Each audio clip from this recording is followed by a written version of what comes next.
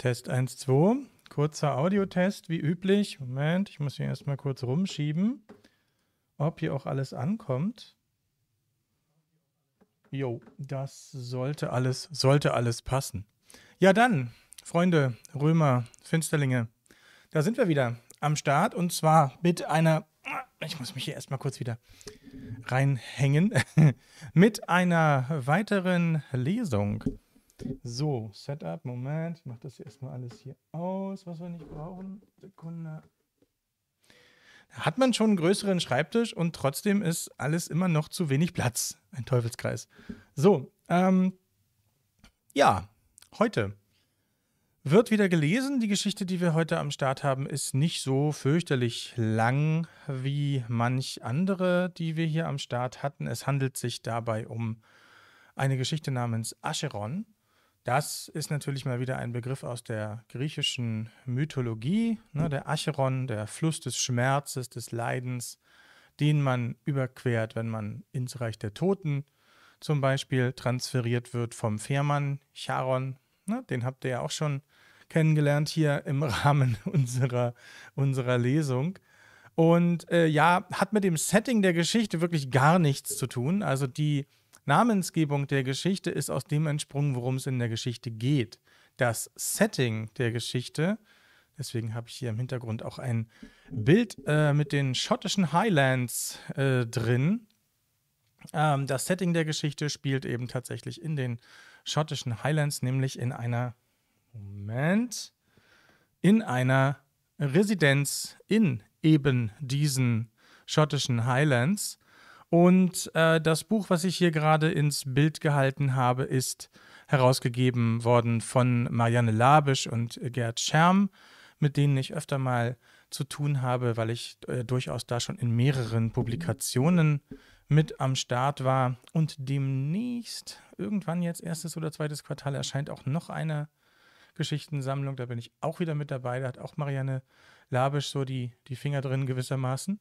Ähm, und äh, in dem Buch ist es ähnlich wie schon in Die Fahrt der Steampunk Queen. Das war, glaube ich, die erste Lesung, die ich gemacht habe in dem Format. Da habe ich Eidolon gelesen damals. Hier bei dem Buch ist das Konzept wieder das gleiche. Und zwar so, dass es ein vorgegebenes Setting gibt, also eben jene namensgebende Residenz in den Highlands. Und diese Residenz ist nicht einfach nur irgendein Gebäude, sondern das ist ja so eine Mischung aus Sanatorium und Altenheim, aber eben nicht für normale menschliche Patienten, sondern für alle möglichen Kreaturen. Da ist dann von, weiß ich nicht, Meerjungfrauen über Vampire so ziemlich alles mit dabei.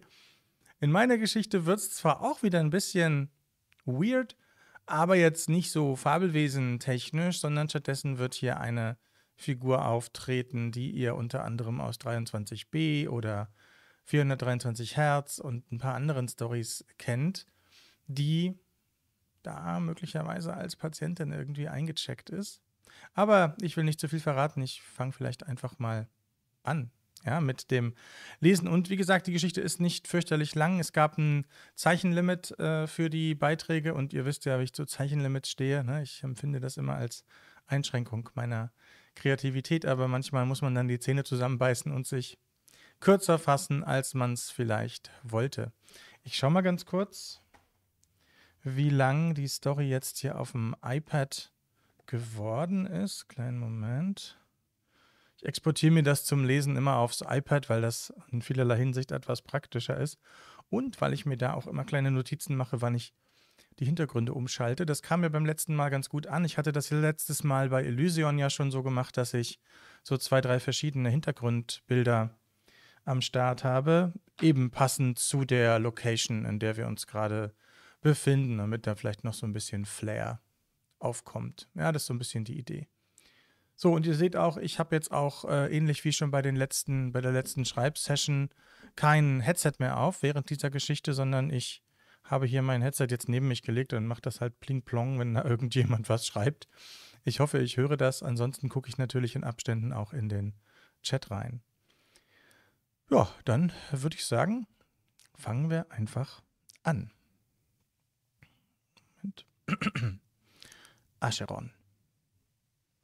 Mehr als einmal im Verlauf der Reise ertappe ich mich dabei, in der wilden Schönheit der Landschaft zu versinken. Die Limousine gleitet flüsterleise dahin, während ich erneut den Blick über menschenleeres Land genieße und mich daran erfreue, weit und breit kein Haus zu sehen. Die ganze Zeit über halte ich den Brief in Händen, der mich vier Wochen zuvor erreichte und dessen Worte mich hierher führen sollten, in die Abgeschiedenheit der Highlands. Etwa eine Stunde ist es her, seit wir Inverness hinter uns ließen, und seitdem wirkt es, als hätten wir dort die Grenze zu einer anderen Welt überquert, in der alles langsamer und angenehmer verläuft. Ab und an bricht die Sonne durch die ansonsten dichte Wolkendecke und verleiht der Umgebung ein märchenhaftes Flair. Auf meinem Schoß ruht die lederne Aktentasche, die mir seit vielen Jahren treue Dienste leistet. Sie hat mich bereits meine gesamte Karriere über begleitet, und nun trägt sie die Früchte meiner Arbeit in sich, eine mit Summa cum laude bewertete Dissertation zu den Diagnosemöglichkeiten paranormal bedingter Schizophrenie und ihren Auswirkungen auf das Sozialverhalten, sowie etliche weitere meiner Forschungsarbeiten. Wie weit ist es noch? frage ich nach vorn. Der Fahrer bewegt den Rückspiegel ein wenig, so dass er mich durch, so dass er mich durch ihn anschauen kann. Er trägt eine sonderbare Brille, die seine Augenpartie komplett bedeckt und selbst zu den Seiten hin abschließt. Noch ungefähr fünfzig Meilen, mein Herr, gibt der Mann zurück. Wir werden in etwa einer Stunde dort sein. Vielen Dank, Cyrus, entgegne ich und lasse ein weiteres Mal den Blick über die letzten der handgeschriebenen Zeilen gleiten. Ich erwarte Ihr Eintreffen am 17. November gegen Nachmittag und kann Ihnen versichern, dass auch Dr. Lazarus sich schier vor Begierde verzehrt, Sie und Ihr medizinisches Genie bald persönlich kennenzulernen. Bis dahin verbleibe ich hochachtungsvoll Lady Banshee de Lilly.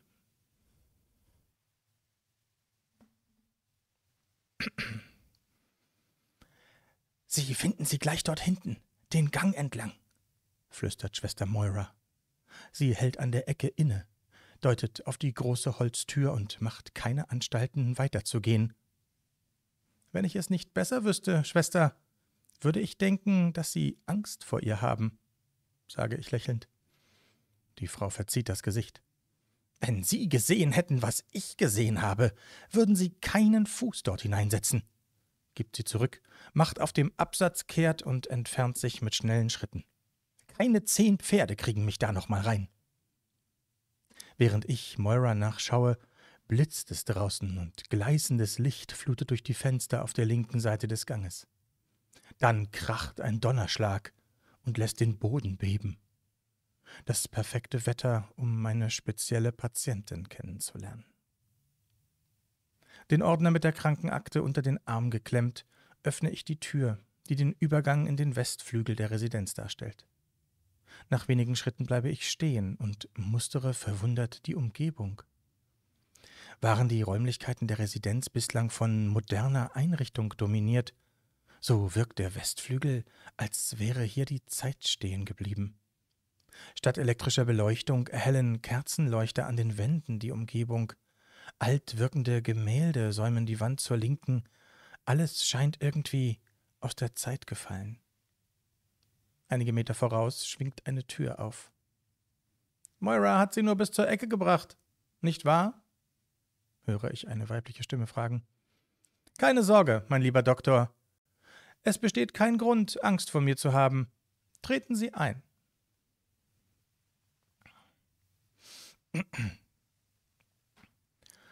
Noch vor Sonnenaufgang schreite ich durch den Morgennebel, der den gesamten Friedhof überzieht. Die halbe Nacht lang lag ich wach, dennoch fühle ich mich so ausgeruht wie selten zuvor. Meine Schritte teilen das Wabern und drängen es für kurze Zeit zurück, doch unmittelbar hinter mir schließen sich die milchigen Wogen erneut. Schemenhaft ragen Grabsteine aus dem Dunst hervor, weiter hinten sehe ich die Silhouette eines Engels, der sich vor dem rötlich leuchtenden Horizont abzeichnet. Den Blick gebannt darauf gerichtet, verharre ich eine Weile, bis sich schließlich genau hinter dem Kopf der geflügelten Figur die Morgensonne emporschiebt. Goldene Strahlen verleihen der Statue des himmlischen Wesens eine ehrfurchtgebietende Aura und bringen den Nebel zum Glühen. Ein Knurren ertönt hinter mir, wie das eines großen Hundes. Ich fahre herum. In den noch immer dichten Nebelschwaden kann ich nichts Konkretes ausmachen, doch mit einem Mal durchzuckt Schrecken meine Glieder. Unmittelbar vor mir flammt ein glutrotes Augenpaar auf. Gleichzeitig vernehme ich erneut das Knurren. Mir läuft es kalt den Rücken runter. Und bereits im nächsten Augenblick, noch bevor ich irgendeinen Gedanken fassen kann, stürmt aus dem Dunst eine Kreatur auf mich zu. Ihr wuchtiger Körper wirkt wie eine schauderhaft entstellte Mischung aus Hund und Bär, bewehrt mit mächtigen Pranken, die sich mit jedem Satz tief in den Boden graben. Seinem mit zwei Reihen messerscharfer Zähne besetzten Maul entfährt ein Brüllen, das wie Donner grollt und den Boden beben lässt. Von Panik ergriffen, taumle ich rückwärts, drehe mich um und stürze in Richtung des Engels davon, hoffend, hinter ihm in irgendeiner Weise Schutz zu finden. In meinem Rücken höre ich das Fauchen der Kreatur, das lauter wird von Sekunde zu Sekunde, meine schon seinen Atem im Nacken zu spüren, als ich die marmorne Figur erreiche. Im nächsten Augenblick bereits begräbt mich etwas Gewaltiges unter sich. Ich spüre Kälte, meine Sinne schwinden und Dunkelheit umfängt mich.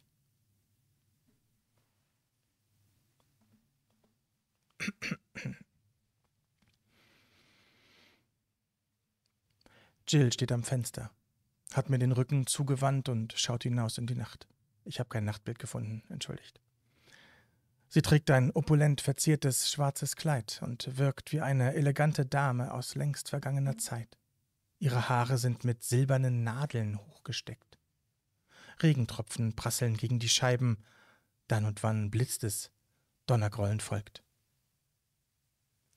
Manchmal wünschte ich, dass der Regen niemals versiegen möge und seine Fluten alles Oberflächliche hinfortspülten, bis zum Vorschein kommt, was darunter liegt, sagt sie. Währenddessen lasse ich meinen Blick durch den Raum schweifen, der jeder Kulisse eines historischen Films Ehre machen würde. Vom silbernen Kerzenleuchter auf dem Tisch, über die große, große Standuhr in der Ecke und den in die Wand eingelassenen Kamin bis zum hölzernen Notenpult vor dem Bücherregal wirkt alles authentisch und alt. Teppich, Wände und der filigrane Stuck an der Decke erscheinen nicht wie Repliken. Vielmehr überkommt mich das Gefühl, dass dieser Ort wirklich in der Vergangenheit liegt. Lady DeLilly hat Sie hierher eingeladen, um eine Diagnose zu stellen, nicht wahr? fragt Jill und wendet sich mir zu. Deswegen bin ich hier, bestätige ich. Allerdings, dann lassen Sie uns keine Zeit verlieren, unterbricht sie mich. Ich nehme an, Sie kennen meine Akte und wissen, dass Dr. Lazarus seine Versuche, mich zu heilen, schon vor langem aufgegeben hat. Und das will einiges heißen, wenn Sie seine tadellose Reputation selbst bei den bizarrsten Fällen bedenken. Jill nimmt ein Päckchen langer Streichhölzer zur Hand und macht sich daran, die Kerzen im Leuchter auf dem Tisch anzuzünden. Ganz sicher ist vermerkt, dass ich ab und an dazu neige, gewisse Ausbrüche emotionaler Natur zu haben. Fragen Sie Keith. Der Arme kann Ihnen ein Liedchen davon singen. Einmal hätte ich ihn fast in Stücke gerissen, weil er mich nicht spielen lassen wollte. Nachtruhe, sagte er. Da gäbe es auch für mich keine Ausnahme. Jill rollt mit den Augen. Dr. Lazarus nennt es wahnhaft bedingte Gewaltausbrüche, die aus einem defizitären Verhältnis zur Wirklichkeit resultieren. Sie tritt an ein kleines Pult neben dem Bücherschrank, fördert einen Geigenkoffer zutage und wirft mir einen flüchtigen Blick zu. Vielleicht sollten Sie doch Angst vor mir haben. Ich bin zunächst nur hier, um mir einen ersten Eindruck von Ihnen zu verschaffen, erwidere ich. Grundsätzlich bin ich kein Freund vorschneller Urteile sondern mache mir gern ein differenziertes Bild von den Dingen. Ich schätze diese Einstellung, gibt Jill zurück und klemmt die Violine unter ihr Kinn. Oft sehen wir einfach das, was wir erwarten, statt dem, was wirklich da ist, nicht wahr? Sie spannt den Bogen und trägt etwas Kolophonium auf. Lauschen Sie, Dies hier wird Ihnen mehr offenbaren, als jede Akte es könnte. Ein unangenehmes Gefühl der Anspannung ergreift Besitz von mir. Nicht nur über mich, fügt Jill hinzu. Mit spielerisch anmutender Leichtigkeit entlockt sie ihrem Instrument Melodien, die mich sofort gefangen nehmen und meinen ganzen Körper durchdringen. Ich betrachte meine Hände und könnte schwören, dass sie an einigen Stellen durchscheinend werden. Jill tänzelt durch den Raum, wirft sich im Rhythmus ihres Spiels hin und her, springt und dreht Pirouetten wie eine Ballerina. Ich vermag den Blick nicht von ihr abzuwenden, und so bemerke ich eine Zeit lang nicht einmal, was um uns herum geschieht. Erst lange, nachdem der letzte Ton verklungen ist, sind meine Sinne wieder ausreichend klar. Entgeistert schaue ich die Frau an, die nun mit einer weißen Bluse und einem knielangen schwarzen Rock bekleidet ist, die Haare zu einem Zopf geflochten trägt und mir einen erwartungsvollen Blick zuwirft. Der Raum um uns ist hell erleuchtet, keine Spur mehr von dunklem Holz, Kerzenschein oder einem Kamin. An ihre Stelle sind moderne Einrichtungsgegenstände getreten, alles wirkt wie in einem dieser nahezu unbezahlbaren Apartments in einer Großstadt. Nun, mein Lieber, wie ist Ihr erster Eindruck von mir? Fragt sie mit einem verschmitzten Lächeln. Wir sollten das bei einem Drink besprechen. Finden Sie nicht auch? Whisky oder Gin?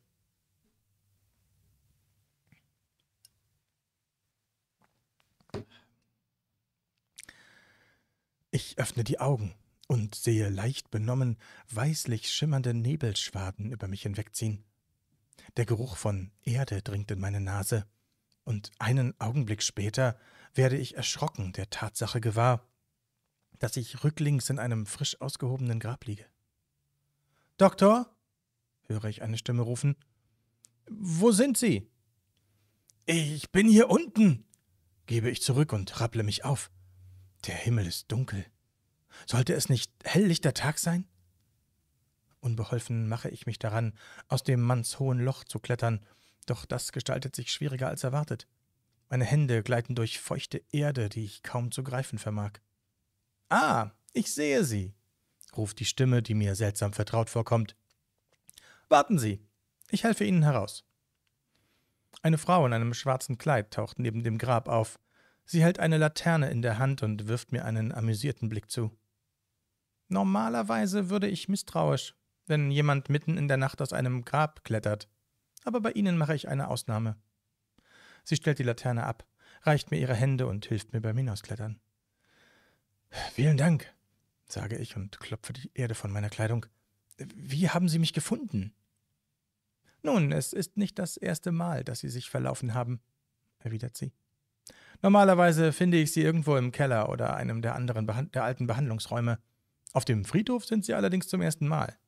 Deswegen hat es länger gedauert. Sie lacht. Die meisten hier brauchen eine Weile, bis sie sich eingelebt haben. Für wen ist dieses Grab? möchte ich wissen. Keine Ahnung, gibt die Frau zurück. Ich bin in das Operativgeschäft der Residenz nicht eingebunden. Aber eines ist sicher: gestorben wird immer. Da findet sich bestimmt jemand. Aus den Büschen zu unserer Linken ist ein Knurren zu vernehmen. Schlagartig kehrt meine Erinnerung wieder. Oh nein, die Bestie war keine Einbildung. Schon will ich die Flucht ergreifen, als die Frau ihre Hand auf meinen Arm legt und mir einen beruhigenden Blick zuwirft. Dann tritt sie näher an die Sträucher und beleuchtet mit der Laterne das unheimliche Monstrum, das sich darin verbogen hält, äh, ver verborgen hält. Die Frau im schwarzen Kleid stößt ein raubtierhaftes Fauchen aus, das ganz und gar nicht menschlich klingt und mich einen Schritt zurückweichen lässt. Das scheußliche Wesen mit den rotglühenden Augen gibt ein Winseln von sich, sprengt davon und verschwindet in der Dunkelheit. Die Schrecken der Nacht entspringen einzig dem, was Menschen menschlich macht, stellt die Schwarzgewandete lächelnd fest und bietet mir ihren Arm zum Unterhaken dar. Sich ihnen zu stellen, sie zurückzudrängen, sie nicht die Oberhand gewinnen zu lassen, das ist der ewige Kampf, nicht wahr?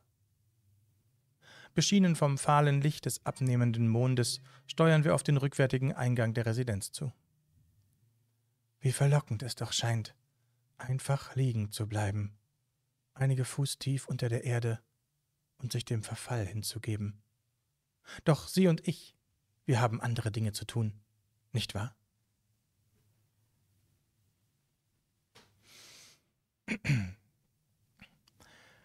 Jill schenkt mir ein Glas Gin ein, während ich noch immer ungläubig sowohl sie als auch das nunmehr vollkommen umdekorierte Zimmer betrachte. Wie haben Sie das gemacht? frage ich beeindruckt. Jill greift nach einer anderen Flasche, gießt sich selbst ein Glas Whisky ein und nimmt dann im Sessel mir gegenüber Platz. Zwischen uns steht ein ovaler Glastisch. Neben den beiden Korkuntersetzern für unsere Gläser liegt nur Jills Krankenakte darauf. Bevor ich Ihnen diese Frage beantworte, hebt sie an, möchte ich etwas wissen. Sie trinkt einen Schluck. Was haben Sie gesehen? Vorher, meine ich. Beschreiben Sie es. Ich nehme einen Schluck aus meinem Glas, genieße das würzig scharfe Aroma des Gins und versuche zu ergründen, warum sie mir diese Frage stellt. Was habe ich gesehen? Sollte sie das nicht wissen? Dann, einige Sekunden später, wird es mir klar. Wir sehen das, was wir erwarten. So oder ähnlich hatte sie sich ausgedrückt. Vielleicht hat sie recht. Der Raum war eingerichtet wie in vergangenen Zeiten. Kein elektrisches Licht, stattdessen Kerzen und ein Kamin, antworte ich. Sie trugen ein Kleid, auch ihre Haare waren anders. Alles wirkte absolut überzeugend. Jill schaut zum Fenster und verharrt eine Weile in dieser Position. Noch immer schlagen Regentropfen dagegen, doch das Donnergrollen entfernt sich mehr und mehr. Ich werde Ihnen zeigen, wie meine Welt aussieht, sagt sie mit einem Unterton in der Stimme, der mir eine Gänsehaut beschert. Nur für einen Augenblick. Sie tippt dreimal mit einem ihrer schwarz lackierten Fingernägel auf die gläserne Tischplatte. Tok, tok, tok. Von von ihrer auf der Platte ruhenden Fingerspitze ausgehend, durchziehen dunkle Schlieren das Glas, bis es vollkommen davon erfüllt ist. Unvermittelt birst das Glas, und die in alle Richtungen davonstiebenden Splitter hinterlassen hauchfeine Spuren in der Luft. Schnitte durch Leinwand, schießt es mir durch den Kopf. Sofort darauf bricht ein tosender Sturm um uns los. Ohrenbetäubendes Dröhnen erfüllt auf einen Schlag den Raum, Hitze dringt von allen Seiten auf mich ein. Was Sekunden zuvor noch ein hell erleuchtetes Zimmer war, ist nun nicht mehr einer, nicht mehr als eine von Flammen verzehrte und zu schwarzer Asche verbrannte Ruine in einer Welt, die höllischer nicht sein könnte. Reste von Mauerwerk zeugen noch davon, dass hier dereinst ein Gebäude stand. Doch alles in seinem Innern ist ein Opfer der Flammen geworden. Lediglich die Sessel, auf denen wir sitzen, scheinen unversehrt. Ich reiße den Kopf herum und betrachte zutiefst erschüttert die grauenhaften Wunder dieser Welt.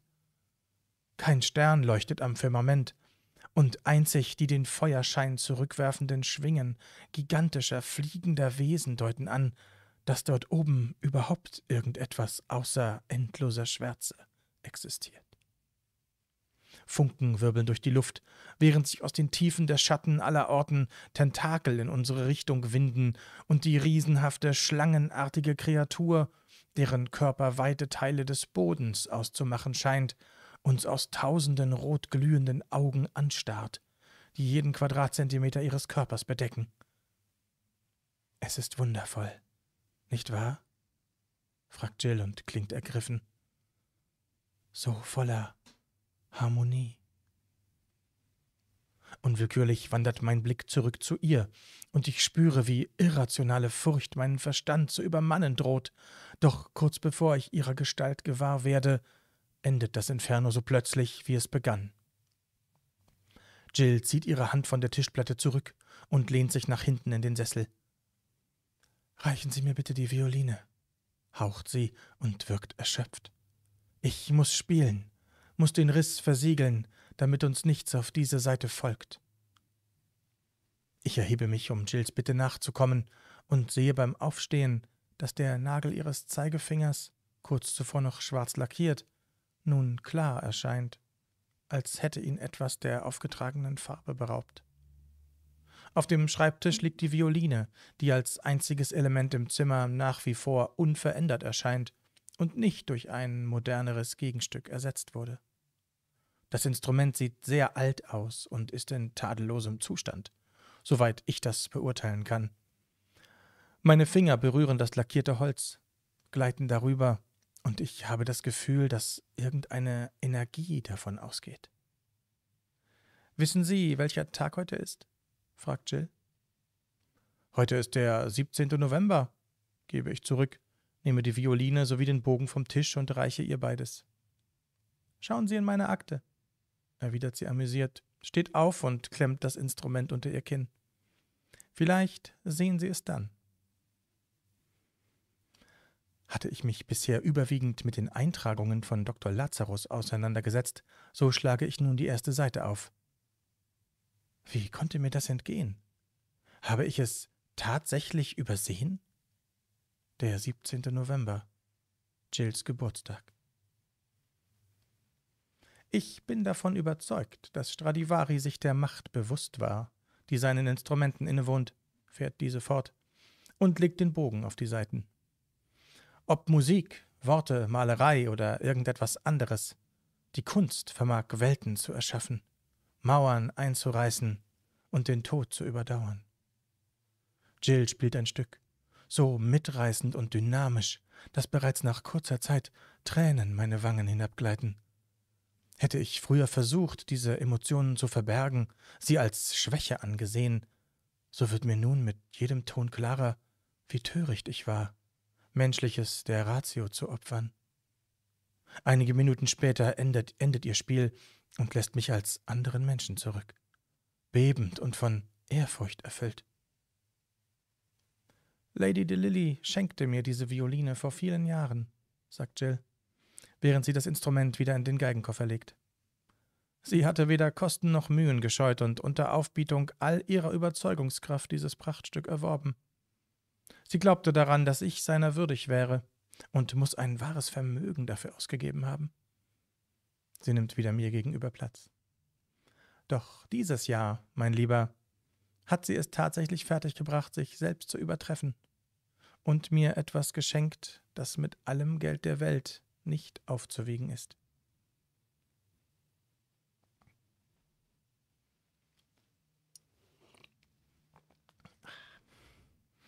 Ja, nochmal Hallo in die Runde der noch neu dazugekommenen Zuhörerinnen.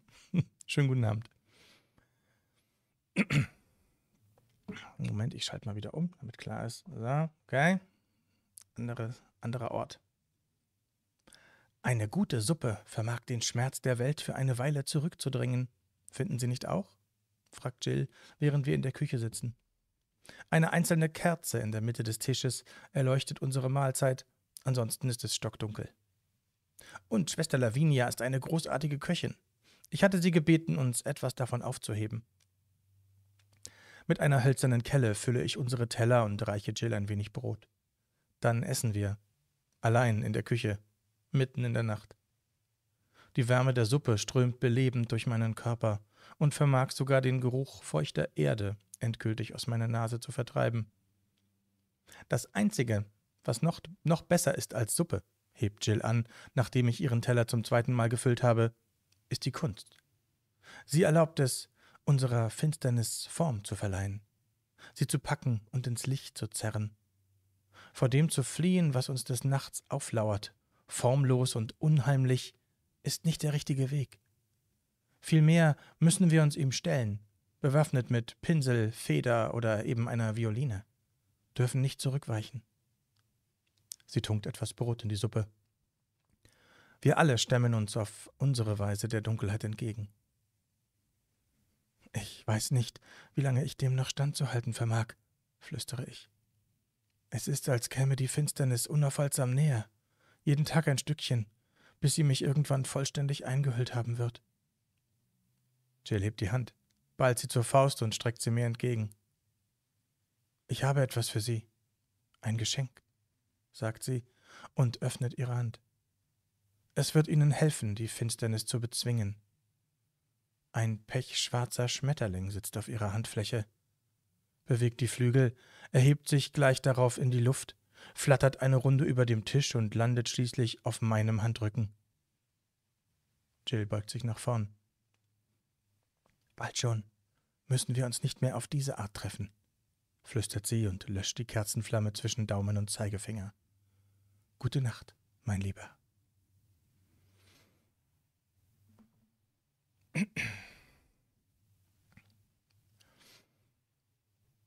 Nun, Doktor, Sie sind hier, um eine Diagnose zu stellen, sagt Jill in aufforderndem Ton, nachdem sie unsere Gläser gefüllt hat.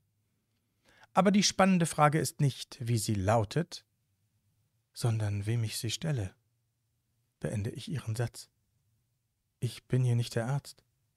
Ich bin der Patient. Ein breites Lächeln liegt auf dem Gesicht der Frau, die mir gegenüber sitzt und ein Whiskyglas in der Hand hält. Das ist keine Antwort, die ich heute von Ihnen erwarte, mein Lieber setzt sie an.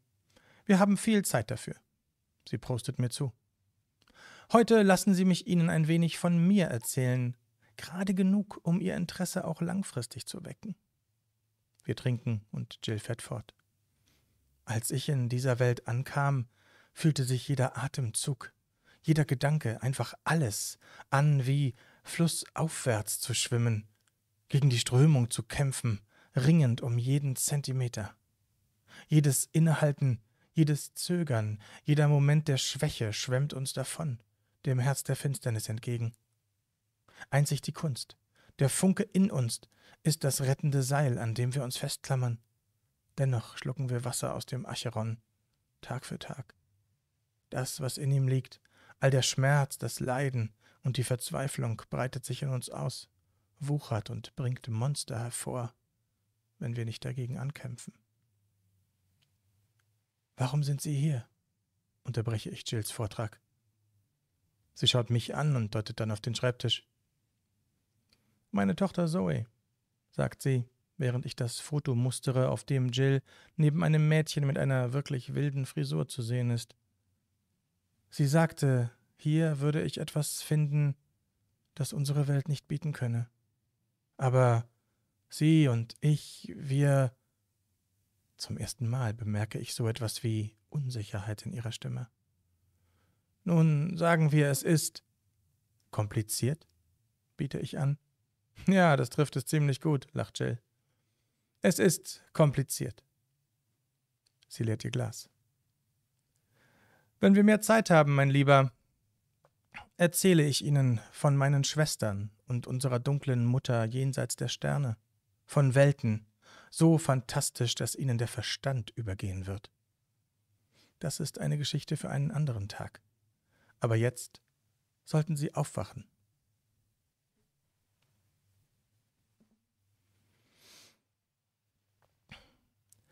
Mein Herr, wir sind gleich da, sagt Cyrus.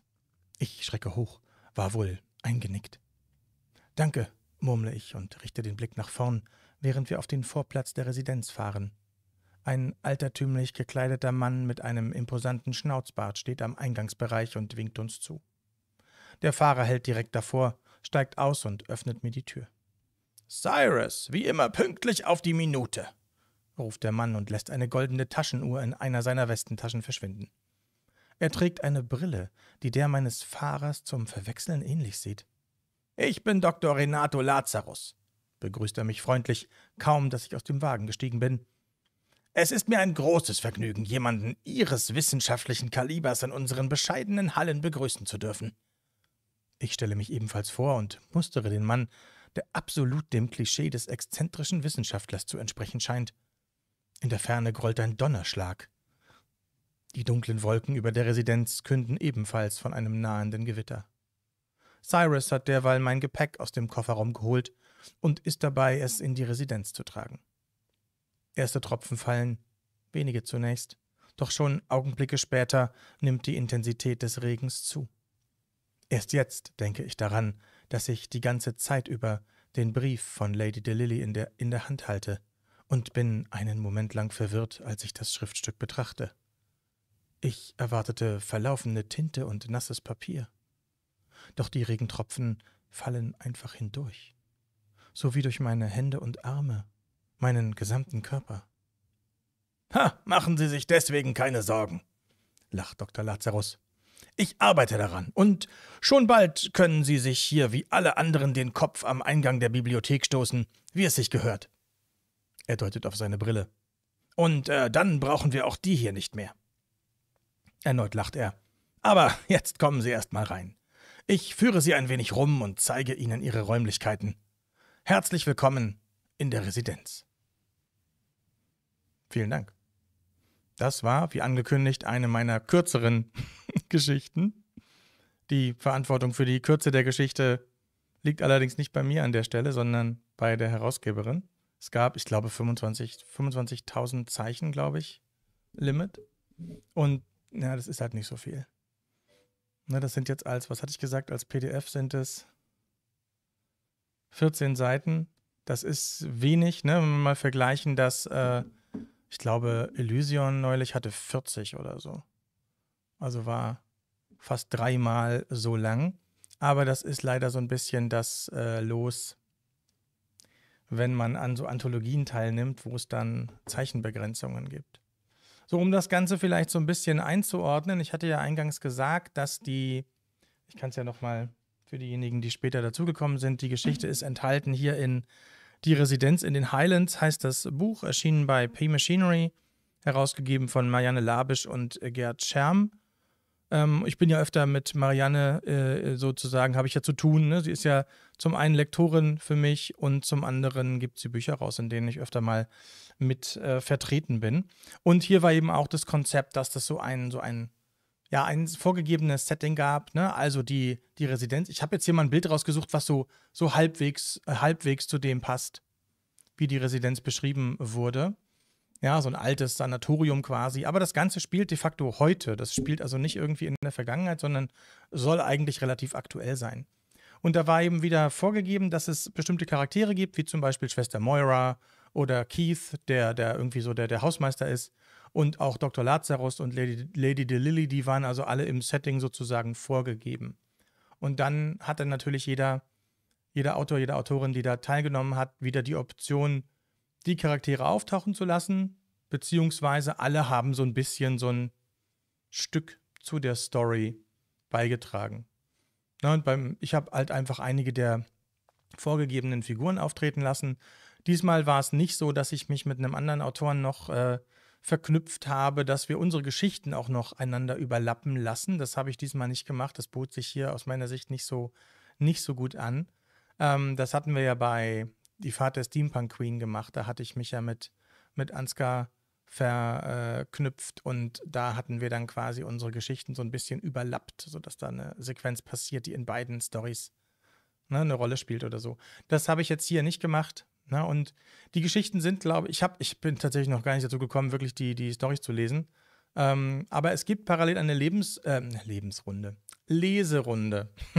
es gibt eine Leserunde auf Lovely Books. Also falls euch das interessiert, falls ihr Feedback zu den anderen Geschichten irgendwie auch lesen wollt oder mit dem Gedanken spielt, euch das Buch vielleicht irgendwann mal zuzulegen, ähm, gibt es auf Lovely Books eine Leserunde. Die ist auch gerade vor, ich weiß gar nicht, vor zwei Tagen oder wann, zwei, drei Tagen ist die erst gestartet.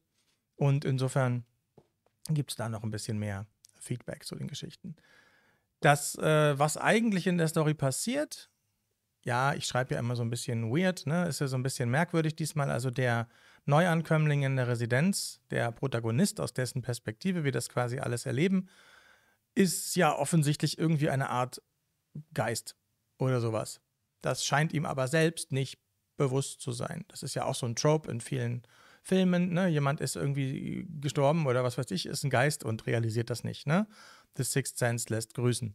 So in diese Richtung. Und diese ganze Kommunikation zwischen Jill und ihm äh, passiert ja quasi so, dass er im Traum Ereignisse sozusagen schon im Voraus träumt, die erst später passieren. Ne, er kommt quasi an, so hat, hat schon Sachen gesehen im Traum, die jetzt zutreffen werden. Also als er ankommt, zieht ja da gerade das Gewitter auf. Und in der Szene mit Jill, da stürmt es ja draußen. Also sprich, er kommt jetzt an und dann werden die Sequenzen passieren, also einige der Sequenzen passieren, die, die in Jills Zimmer spielen, werden dann stattfinden.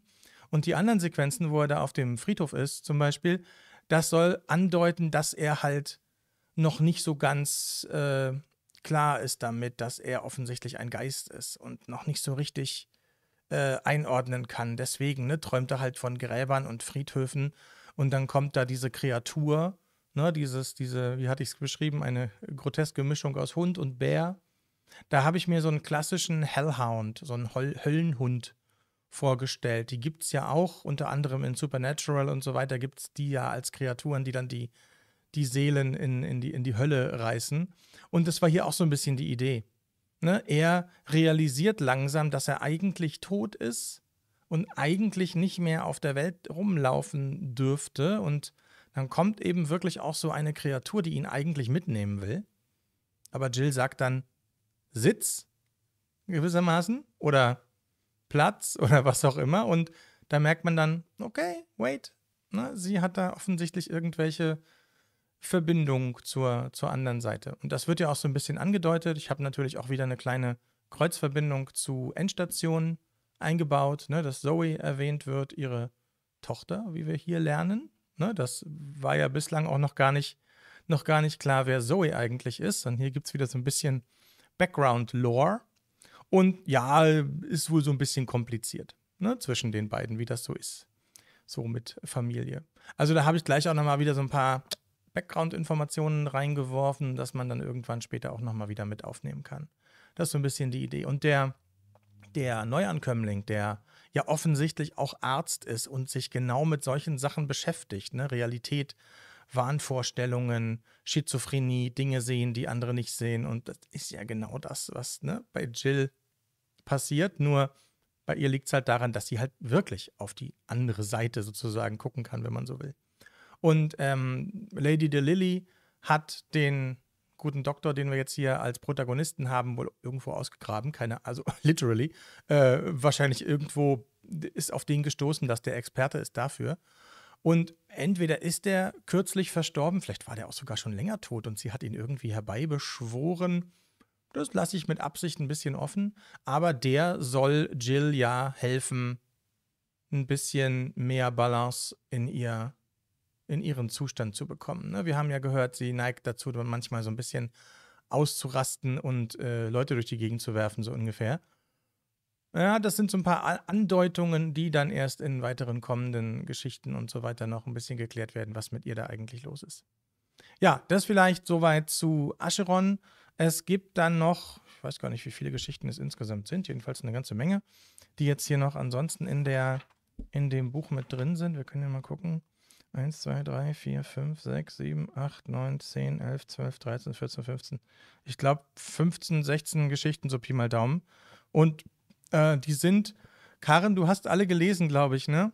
Die sind, glaube ich, so ein bisschen ganz wild durcheinander. Ne? Meine ist, glaube ich, eine der wenigen, die so ein bisschen in so einen Weird Fiction-Horror-Bereich geht. Aber es gibt durchaus wohl auch welche, die deutlich lustiger sind, die deutlich mehr noch in so Fantasy-Richtung gehen, ne? so, so Meerjungfrau und äh, so derartige, derartige Dinge. Ne? Also das ist wieder eine bunte Mischung aus verschiedenen Sachen. Ich schreibe ja bei sowas dann immer die eher etwas düsteren Sachen, aber das ist halt so mein persönliches, mein persönliches Ding. Das heißt, das, ähm, ja, so ein bisschen Science Fiction ne, ist eben auch zum Teil mit, mit reingemischt. Und das, das liegt auch daran, dass das ja in der heutigen, in der heutigen Zeit spielt. Und so kleiner, Kleiner Mini-Spoiler. Der Protagonist, den wir hier als Hauptfigur erleben, der scheint ja eine sehr, sagen wir mal, fast altertümliche Sprache zu verwenden. Das habe ich mir natürlich was bei gedacht.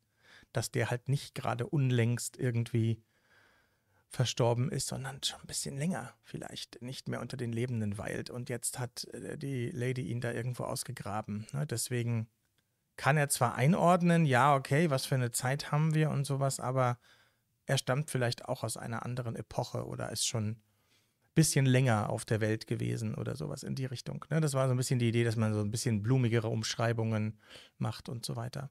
Und na klar, die Schilderung dieser anderen Seite, dieser höllischen Dimension, da habe ich natürlich bewusst auch so ein paar Sachen mit eingebaut, die so ein bisschen an so Cthulhu und sowas erinnern. Ne? So hier ein paar Tentakel, da irgendwie eine Kreatur mit ganz vielen Augen und so. Weil ich mag diese Ästhetik auch.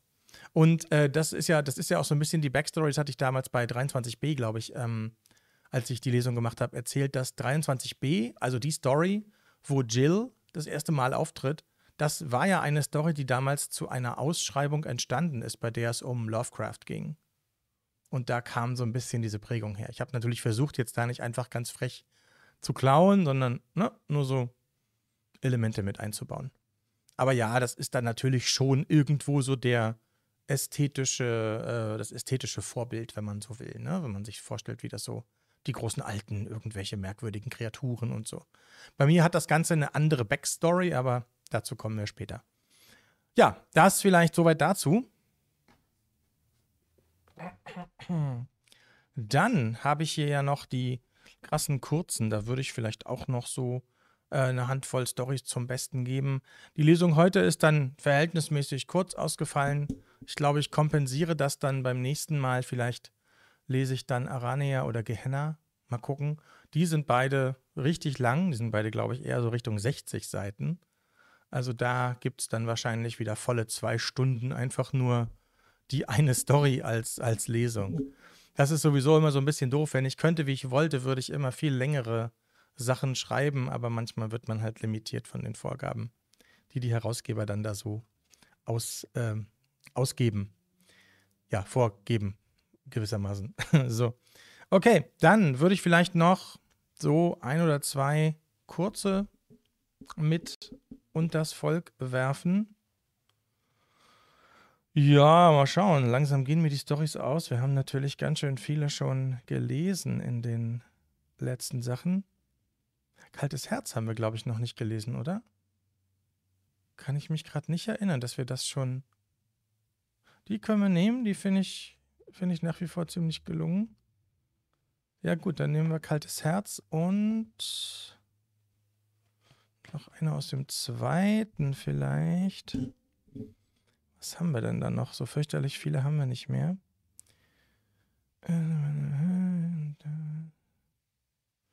Ja, Intermezzo könnten wir noch nehmen. Ja, so ein bisschen, bisschen, was, bisschen was Fieses zum Abschluss. Gut, dann fangen wir an mit Kaltes Herz. Das ist eine Story, die ist enthalten in Band 1 der krassen Kurzen und ist ja wieder so eine, die so ein bisschen, sagen wir mal so, da habe ich halt nicht alle Elemente erzählt, die man haben muss, um die Story komplett von vorne bis hinten erklärt zu bekommen, sondern man muss sich halt so ein paar Sachen da selber zusammenbauen. Aber ich sage am Ende der Geschichte noch was dazu.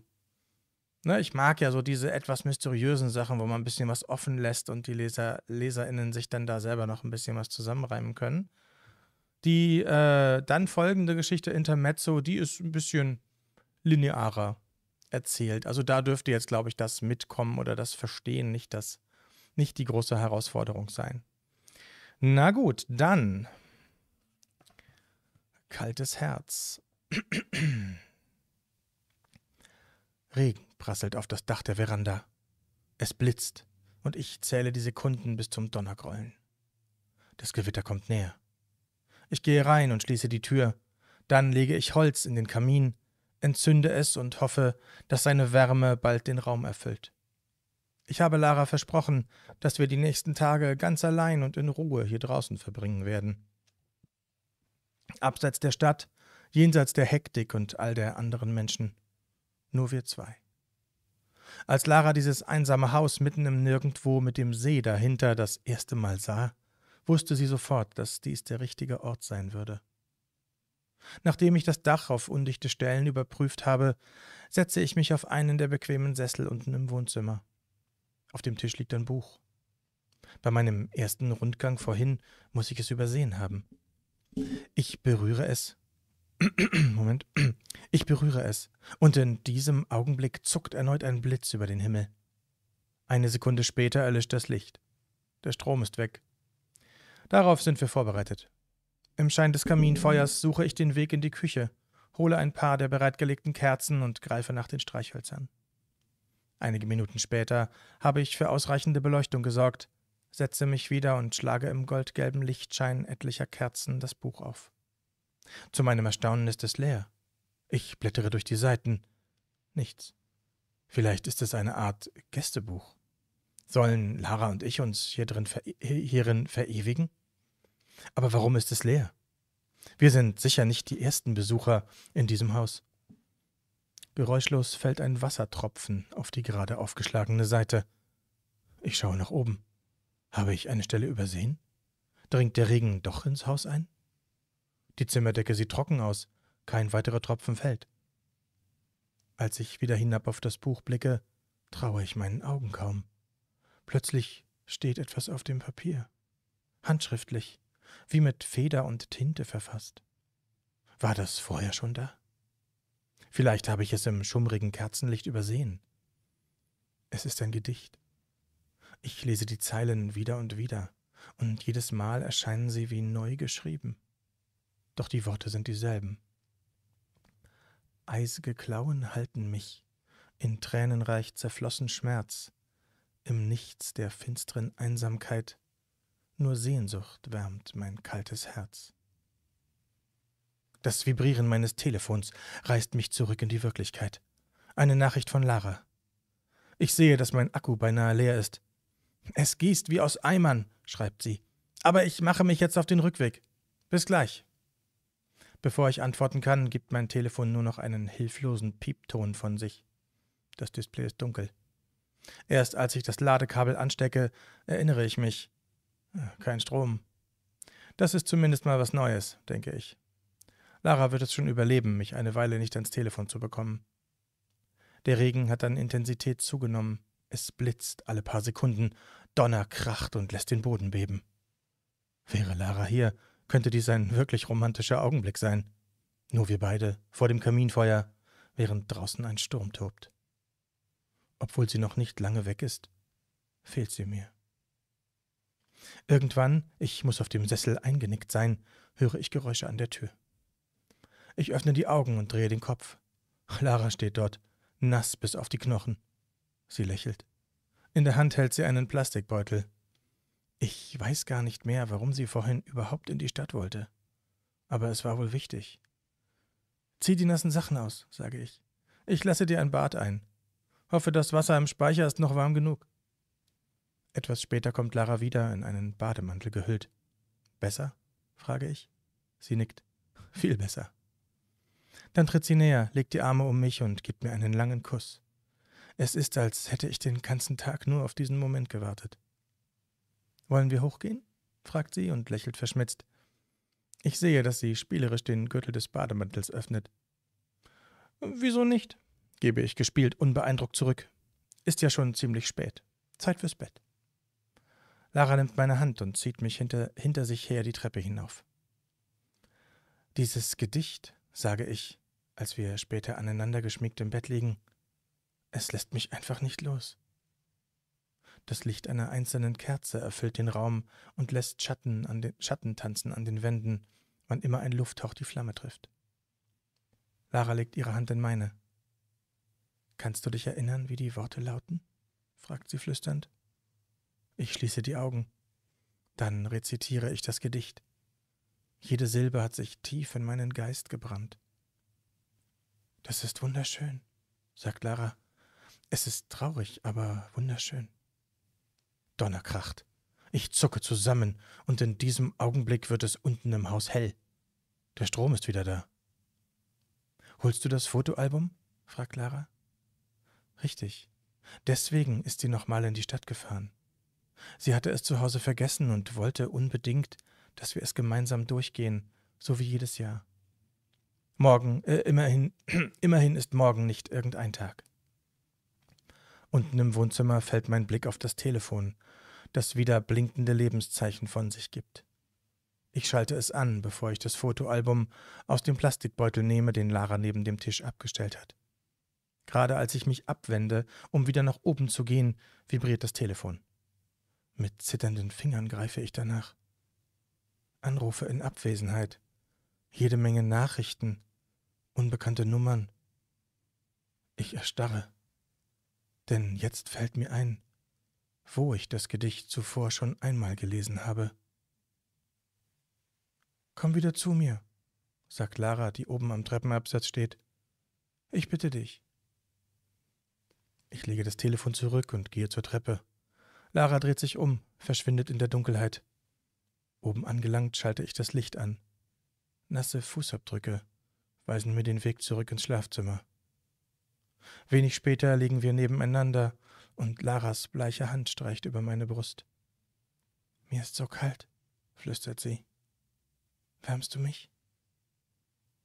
Ich lege die Arme um sie, während draußen der Sturm tobt, als wäre es das Ende der Welt. Doch nicht heute. Nicht in dieser Nacht. Vielen Dank. Klar, das ist wieder so eine Story, ne? da muss man sich so ein bisschen zusammenbauen. Moment mal, erstmal ist das erstmal so ganz normal. Sie sind irgendwie da und haben da irgendwie, feiern da ihren, weiß ich nicht, Jahrestag, Hochzeitstag, was auch immer. Und ja, wie das immer so ist, dann wird es so ein bisschen, dann wird so ein bisschen weird. Ne? Dann wird es so ein bisschen merkwürdig. Und natürlich sind in der Story eben auch schon wieder so ein paar Elemente eingebaut. Ne? Wo er sagt, naja, sie wird das schon überleben, mich eine Zeit lang nicht ans Telefon zu bekommen. Na, und wo er, wo er sagt irgendwie, ja, sie ist, sie ist noch nicht lange weg, aber sie fehlt mir. Na, und ja, das hat natürlich damit zu tun, was da eigentlich passiert ist und wie man sich das quasi jetzt zusammenbauen kann.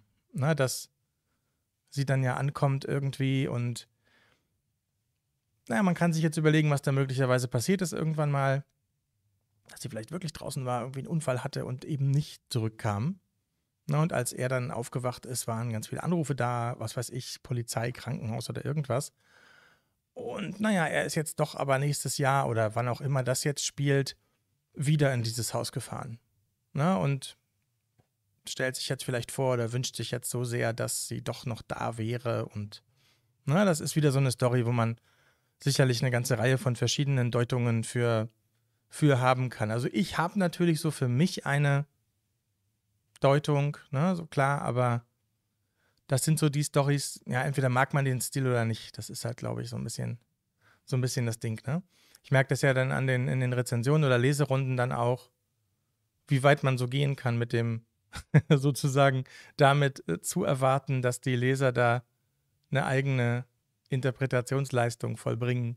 Manche finden das super cool, dass sie das können. Und ich glaube, bei manchen manche verliere ich dann auch so mit so äh, zu, zu bizarren Geschichten, wo man sich zu viel zusammenreimen muss.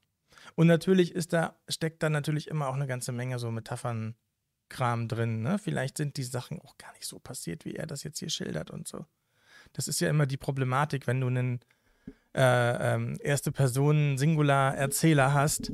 Naja, das, was der dir da erzählt, das nimmt man dann für die Wahrheit hin als Leser, aber pff, kann ja sein, dass das gar nicht so passiert, wie ne, die Person. So unzuverlässiger Erzähler ist ja auch so ein Element, was äh, diverse Autoren gerne verwenden, wo du dann irgendwie auf halber Strecke merkst, Moment, das, was der da gesehen, gesagt oder getan haben will, das kann nicht stimmen. Na, und so ein bisschen in die Richtung geht die Story eben auch.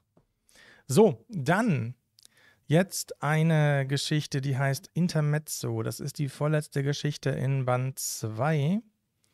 Und die ist tatsächlich inspiriert gewesen, so ein bisschen von American Psycho. Ja, so ein bisschen so dieses, dieses, ja, ich weiß nicht, wer das Buch kennt oder den Film ähm, gesehen hat, American Psycho.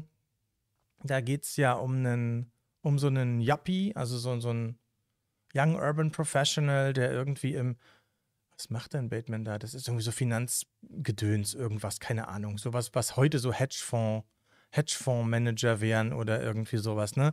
Sowas in der Art ist ja da im Film. Und es geht dann im Buch noch viel mehr als im Film eigentlich immer nur darum, dass du bessere Klamotten hast als deine Kollegen und deine Visitenkarte aus Einhornperlmutt sein muss und solche Sachen. Ne? Und äh, das, dieses, dieses komplett abgehoben von der, von der menschlichen Realität, so dieses extreme Fixieren auf irgendwelche Dinge und auch so dieses vollkommen Skrupellose in der Erreichung der, der äh, Ziele.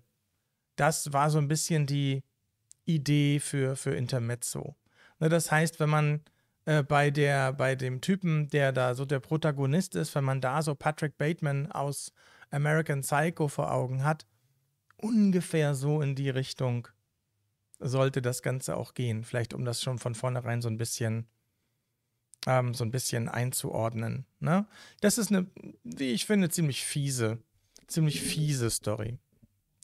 Gut, dann Intermezzo.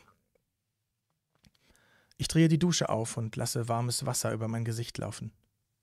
Mit geschlossenen Augen stehe ich da und genieße das an mir herabströmende Nass, während sich in meinem Kopf die ewig gleichen Gedanken überschlagen. Ist es richtig, das zu tun? Was, wenn es herauskommt? Wie üblich schaffe ich es nach einer Weile, die Zweifel beiseite zu schieben und widme mich, widme mich stattdessen der gründlichen Reinigung meines Körpers. Du liegst noch immer im Bett, als ich aus dem Bad komme. Nach unseren Treffen scheint auch dich stets ein gewisses Schuldgefühl zu überkommen. Bist du währenddessen wild und ungestüm, so schaffst du es hinterher nicht einmal, mir in die Augen zu schauen. Wahrscheinlich gehen dir gerade dieselben Dinge durch den Kopf wie mir. Vielleicht sollten wir damit aufhören, sage ich, und weiß schon eine Sekunde später nicht mehr, warum mir diese Worte über die Lippen kamen. Du weißt, ich schätze unsere gemeinsamen Stunden sehr, aber mehr bringe ich nicht hervor. Stattdessen ziehe ich mich an und gehe, so wie jedes Mal. Hey, hast du die Unterlagen für den Bachmann-Deal? fragt Kelly, während ich in der Küche an der Kaffeemaschine stehe. Ich äh, muss da mal was nachsehen. Ja, auf meinem Schreibtisch, der blaue Ordner, gebe ich zurück und werfe ihr ein Lächeln zu. Aber Finger weg von den Donuts. Das sind meine. Keine Sorge, die rühre ich nicht an, gibt sie lach lachend zurück. Ich will ja nicht, dass du mir irgendwann Arsen in den Kaffee mischst. Später stehe ich im Konferenzraum und gebe mein Bestes, um den Kunden davon zu überzeugen, noch ein paar Millionen mehr zu investieren. Nach diversen Tiefschlägen und Krisen in der Vergangenheit rappelt sich der Immobilienmarkt gerade wieder auf. Genau die richtige Zeit, um sich eine goldene Nase zu verdienen. Die Boni sind so hoch wie nie und die Menschen naiver als je zuvor. Es ist ein Kinderspiel, in dieser Branche reich zu werden, wenn man nur mitreißend genug erzählt, welch fantastische Gewinne locken und an die niederen Instinkte zu appellieren weiß. Im Laufe der Jahre habe ich gelernt, in den Gesichtern von Menschen zu lesen wie in einem Buch. Ein Gespräch ist für mich nichts anderes als das Durchblättern der Seiten, bis ich irgendwann das Kapitel finde, in dem beschrieben steht, wie ich bekomme, was ich will. Eine Stunde und zehn Millionen Scheine später verlässt ein begeisterter Investor unsere Räumlichkeiten. Verdammt, wie machst du das immer? fragt Victor, kaum dass, ich die, kaum dass die Tür ins Schloss gefallen ist. Vielleicht bin ich einfach gut, gebe ich mit einem Lächeln zurück. Aber ich werde dir meine Tricks nicht verraten, da musst du schon selbst drauf kommen. Victor ist Juniorpartner, strebsam und fleißig. Ich sollte ihn im Auge behalten. Ah, meine Stimme.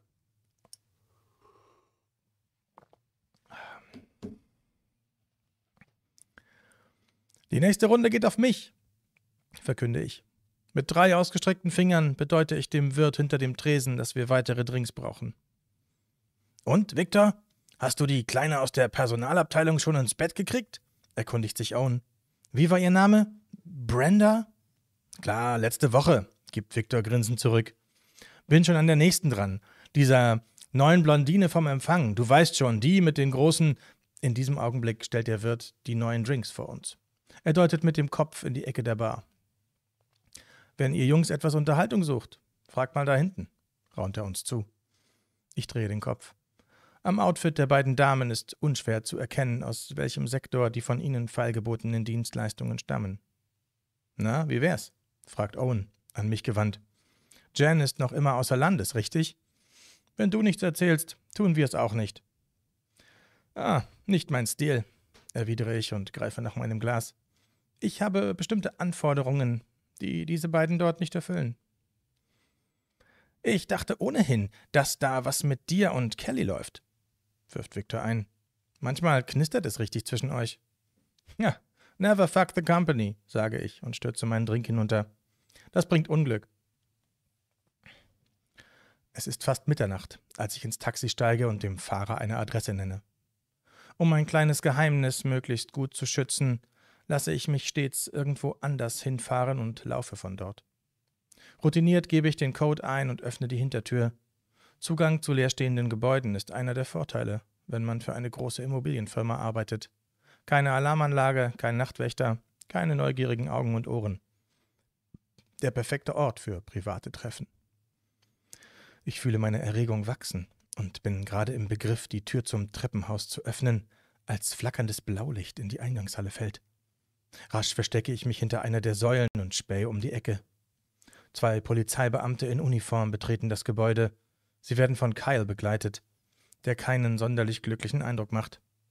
Ich kenne ihn von früher, als er noch für unsere Firma tätig war, bevor er sich abwerben ließ. Kyle war schon immer ein Idiot. Und so kam er auch nicht auf die Idee, den Zugangscode zu ändern, selbst nachdem das Gebäude den Besitzer gewechselt hatte. Ich mache mich, so schnell es geht, aus dem Staub, laufe ein paar Blocks weit und nehme dann ein Taxi nach Hause. Schaut euch das an, ruft Victor und winkt uns heran. Im Konferenzraum läuft der Fernseher. Was als Ermittlung in einem Einbruchsfall begann, hat eine überraschende und grausame Wendung genommen, sagt ein Sprecher aus dem Off, während ein mehrstöckiges Wohnhaus in der Innenstadt zu sehen ist. Die Beamten fanden bei der routinemäßigen Begehung des Gebäudes die bereits stark verweste Leiche einer jungen Frau, die inzwischen als die vermisste Joanna Myers in, in identifiziert werden konnte. Ein Bild wird eingeblendet. Es wirkt wie ein Foto aus einem Universitätsjahrbuch. Offenbar war das Opfer zuvor massiv und über Tage hinweg misshandelt sowie sexuell missbraucht worden. Das örtliche Polizeirevier. Victor schaltet den Ton ab. Ist das zu glauben? Er klingt erschüttert. Das überrascht mich. Wie furchtbar, bringt Kelly hervor, und der Ekel steht ihr förmlich ins Gesicht geschrieben. Wer tut sowas? Solange er es nicht in einem unserer Gebäude tut, kann uns das egal sein, wirft Owen trocken ein. So, und jetzt wieder an die Arbeit. Die Aktionäre wollen steigende Zahlen sehen. mit einem frisch gebrühten Becher, mit einem frisch gebrühten Kaffee im Becher, sitze ich am Fenster meines Büros und schaue über die Stadt. Ich bin gespannt, was die Ermittlungen in dem Fall an, äh, in den kommenden Tagen ergeben werden.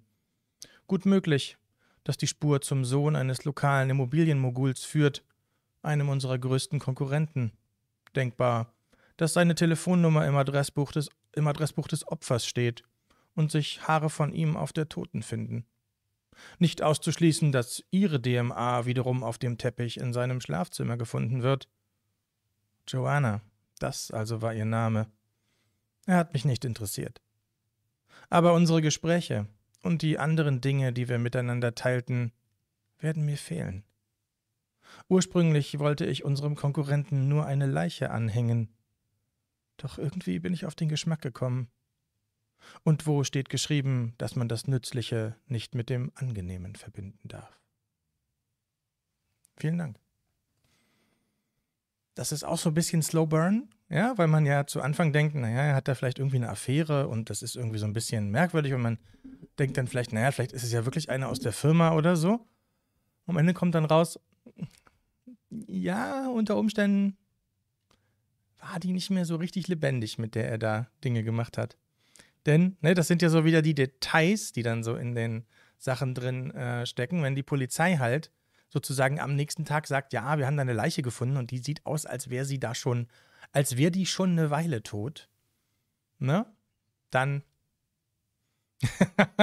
Steffi, ja.